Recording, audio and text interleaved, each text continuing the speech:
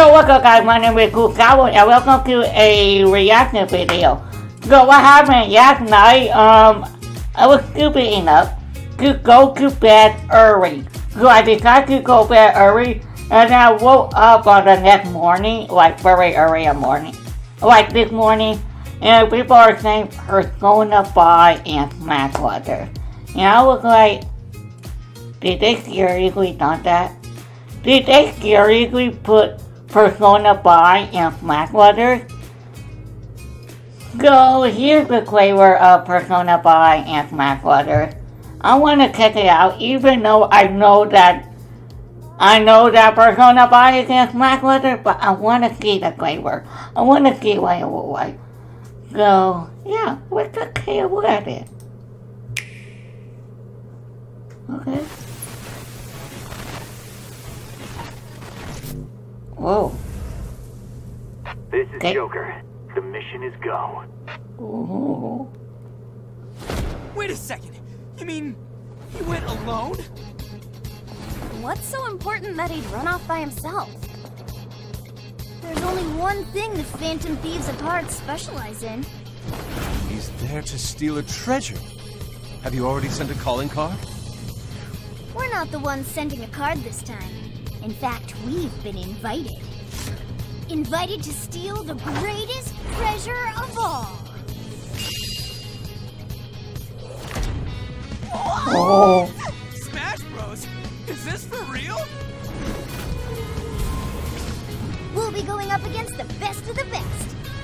Can't wait to see our fearless leader show his stuff.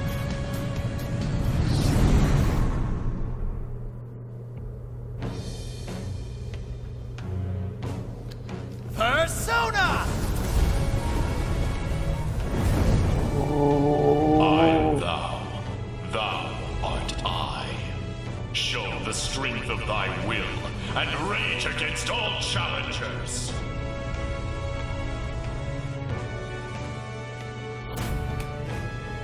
Challenger Part 1. Joker. Persona 5.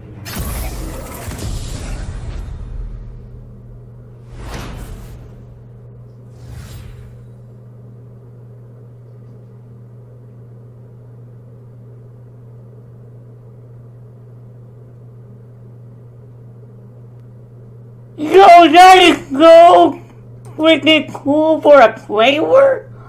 For a flavor? I didn't, like, I heard about, I heard about Persona 5, but, yo, this is so good. Yo, I like, I like the flavor. It was so nice. I don't know, but I know this per- I know he's gonna be like everybody main or something like that, and I was like, I really like it. Like I know Steven was Persona 5, no Persona, and I know he got he freaking out about Persona being in Smash Brothers, but yo, I like it. Like I like the flavor. The flavor is so cool. But it, tell me what what Smash what character you like to see in the Smash game? Like what kind of character you want to see in the Smack Letter games and stuff like that as a? But I want to get out of here, so subscribe, like, and comment down, whatever. Um, subscribe. Blah. Um, overall, see ya next time.